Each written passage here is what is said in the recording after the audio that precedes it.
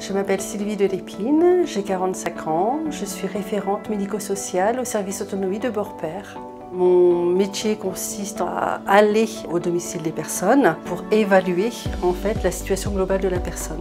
On va euh, identifier quelles sont les difficultés euh, dans leur quotidien. Ça va nous permettre euh, d'identifier les besoins de la personne et donc d'élaborer un plan d'aide. Ce rôle est extrêmement important parce que cela permet aux personnes âgées de rester chez elles le plus longtemps possible. Je me sens utile car euh, j'oriente, j'informe, je conseille.